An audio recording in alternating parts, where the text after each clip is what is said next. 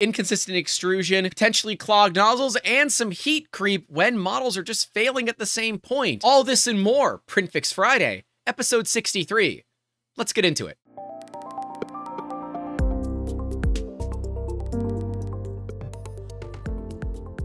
Hey guys, welcome back to the channel. If you are new here and you're struggling with your 3D printer, let us know in those comments down below, but you can always reach out to us on the social medias. Links are around me and use the hashtag printfix, or you can just slide into those DMs. They're normally open on basically every platform. But uh, keep an eye out because we are looking for more community submissions on this because it does help make these videos easier for us and then you get to be featured on the channel as well. It's a win-win as far as I'm concerned. We got a lot of awesome fails for you and Victoria makes a special appearance in this video, so make sure you guys stick around to see when the cat appears. What the cat does love is eating. She is about 15 pounds of wonderful, and that means I gotta talk about our sponsor, 3D Musketeers. We get it. 3D printing is not always a perfect game. You end up failing from time to time, whether it's a frustrating thing or something that you enjoy, you might decide that it's not worth your time and you want to outsource it to the wonderful folks over at 3D Musketeers. We have over 40 years of experience and 40 3D printers to help you make that tight deadline when you need it. And in fact, we have some pretty awesome testimonials from customers. Put a couple of them on the screen so you guys can take a look. That occurred relatively recently, so thank you guys for leaving positive Google reviews. It helps the company grow. But we recognize that not everyone is looking for that 3D printing service. Maybe you want some 3D scanning. We, we offer that. You know, we've got Artec Eva, Artec Ray. There might be another Artec product coming soon. Shh.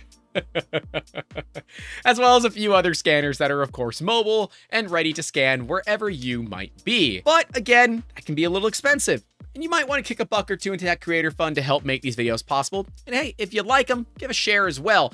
But Patreon YouTube channel members are a great way to help the channel grow with a couple of bucks. Because, well, editing ain't cheap, neither is social media work. And God, I still haven't been able to pay myself.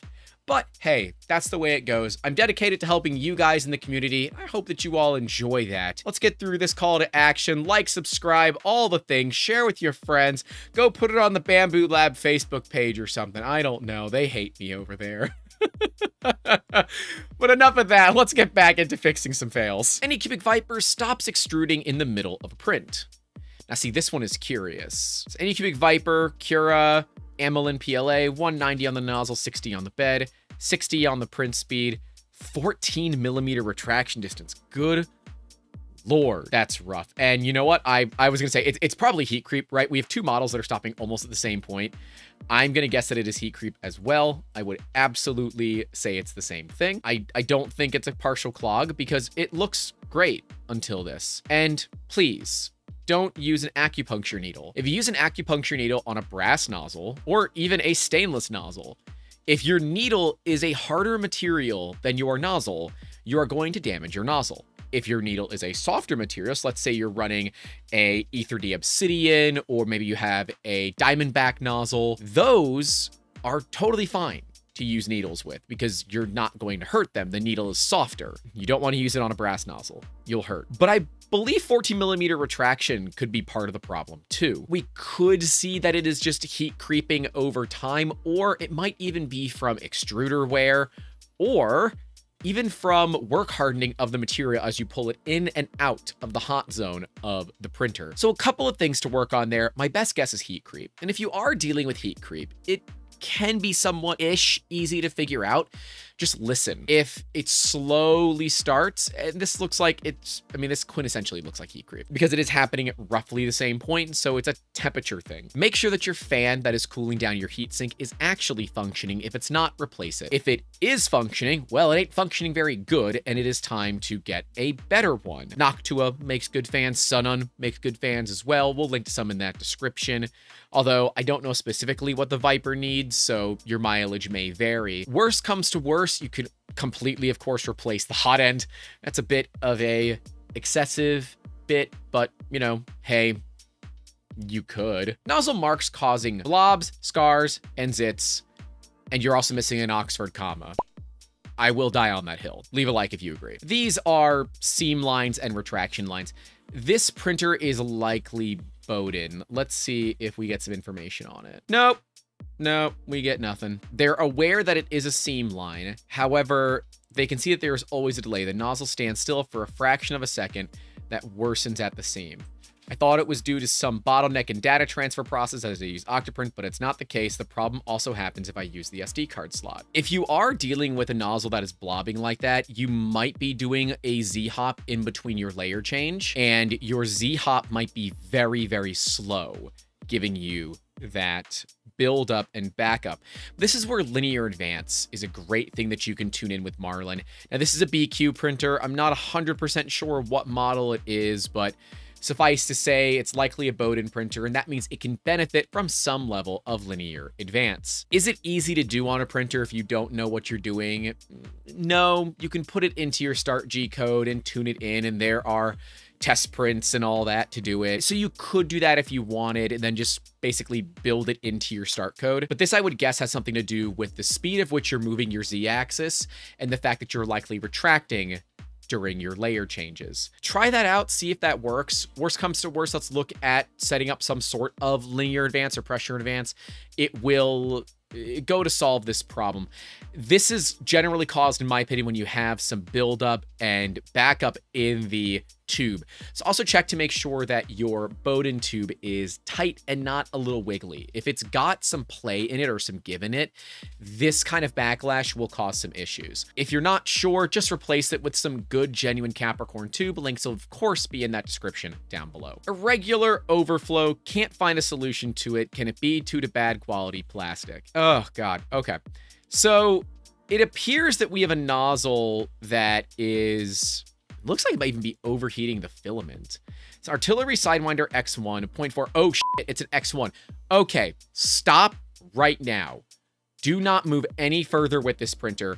You need to verify that your X1 actually has thermal runaway. For a while, Artillery was shipping out Sidewinder X1s without thermal runaway protection.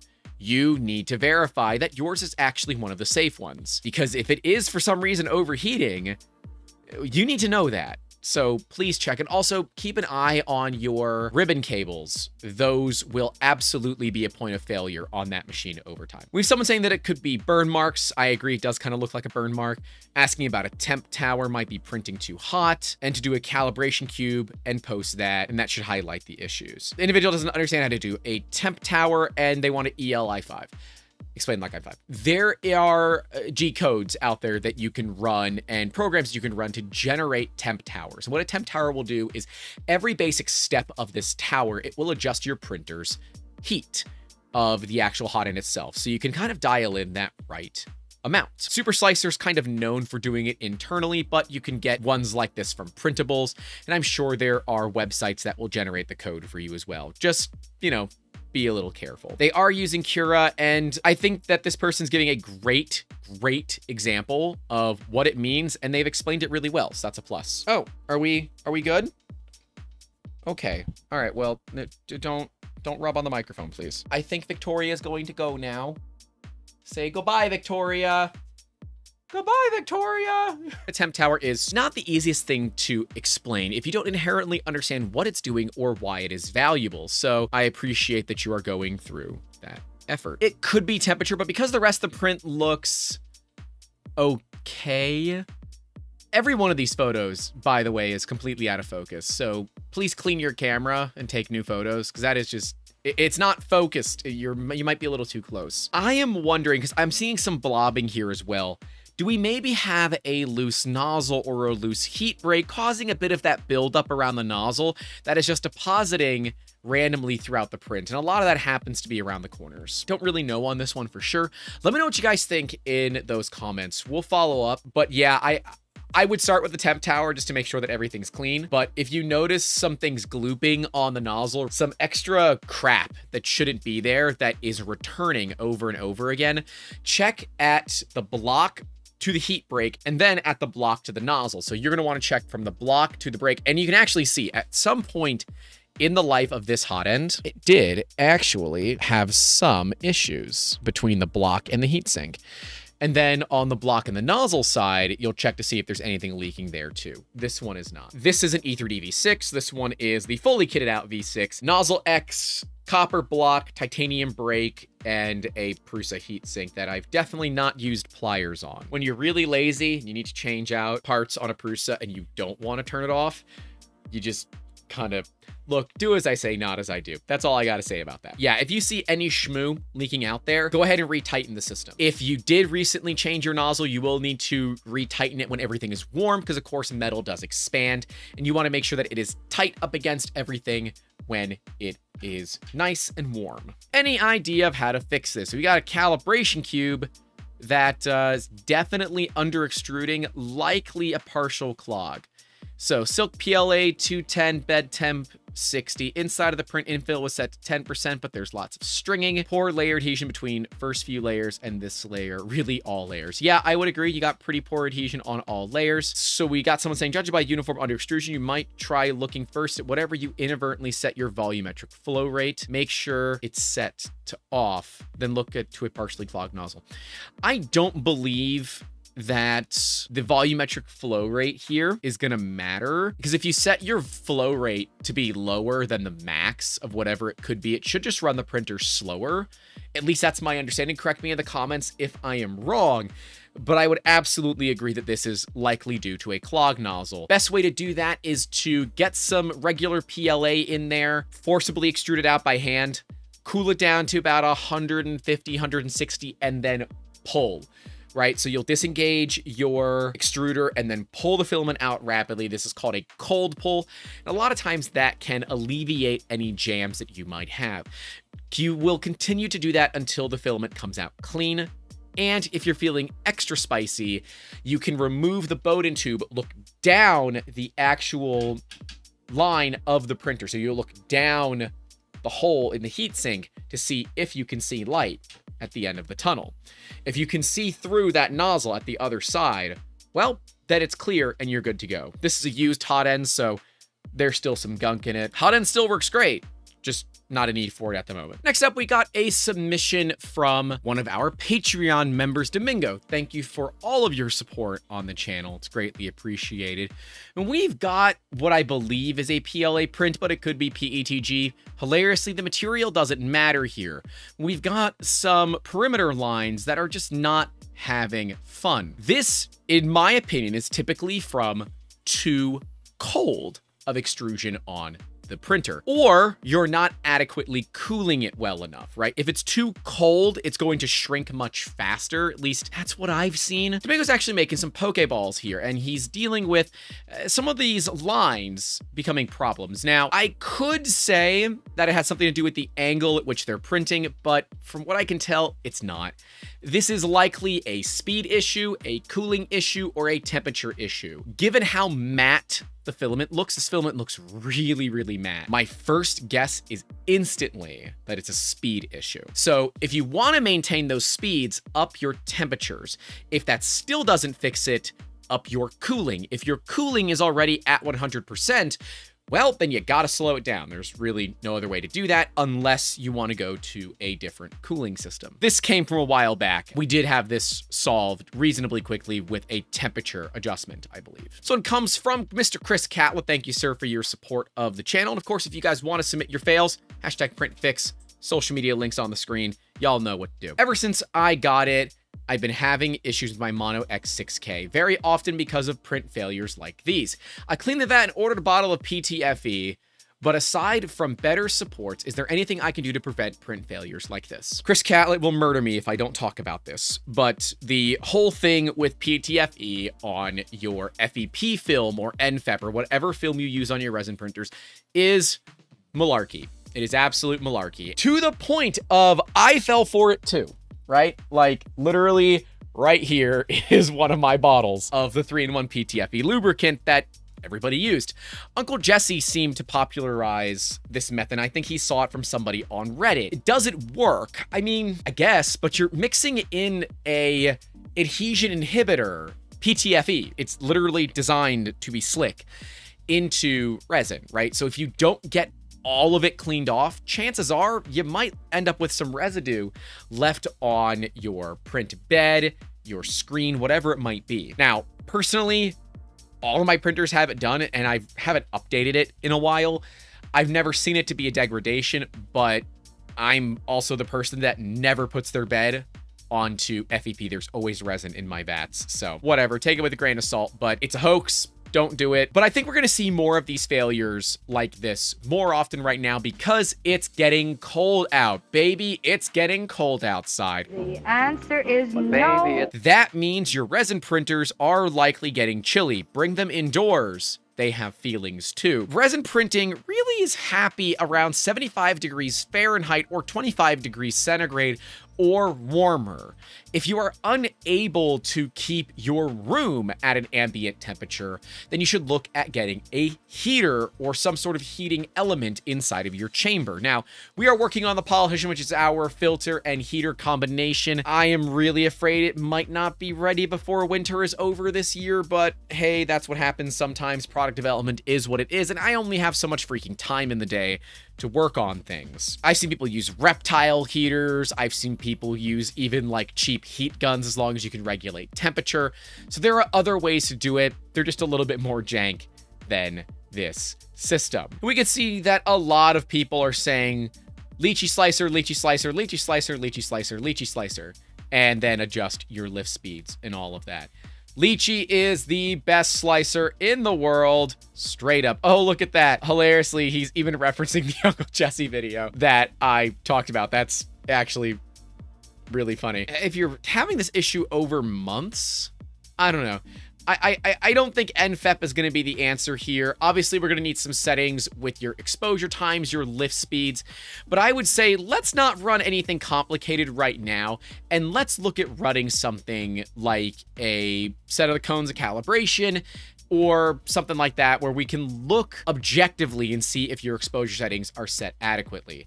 If you are going to print when it's cold and you don't have an easy way to keep the printer warm, do make sure that you run new cones of calibration to figure out your new exposure settings.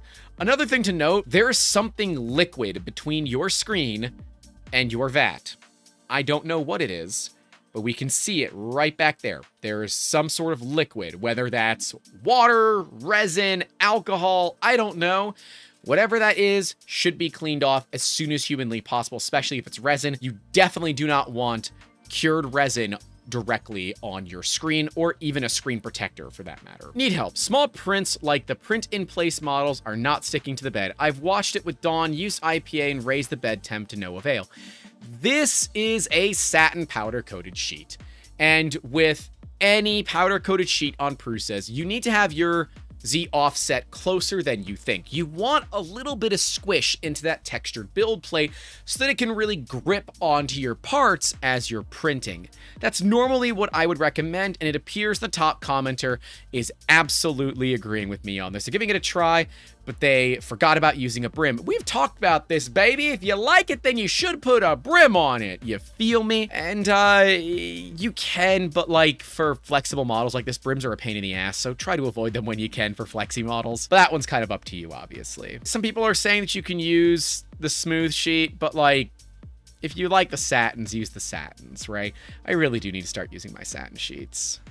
But yeah, I mean, absolutely. I would look at lowering your Z offset a little bit and life should be good. Oh yeah, yeah, you're definitely not close enough. We can see the infill is not perfectly connected. Yeah, you're you're not close enough. Get closer to your first layer and you'll be fine. Yeah, guys, let me know. Obviously, this is Black Friday in the United States and I am filming this in advance. I am spending some time with family and I hope you guys are as well. If I do see some good deals, keep an eye out on Twitter. We'll be posting them over there and if there is a lot of deals that we can get through. Maybe I'll do a quick little short or something over the weekend for Black Friday and Cyber Monday. But stay safe out there. Don't forget to call your loved ones. Don't forget to leave a like. And as always, keep making awesome. Have a good one. Cat footage, cat footage. Look at this cat. She's gonna be in the picture. Cat footage. Come on, come on. Oh, ho, ho, ho. that's a good stretch. Look at the baby. Look at the baby. Hey, thanks so much for watching this video, and a massive thank you goes to all of these awesome Patreon YouTube channel member supporters whose names are listed right next to me at the $5 tier and higher.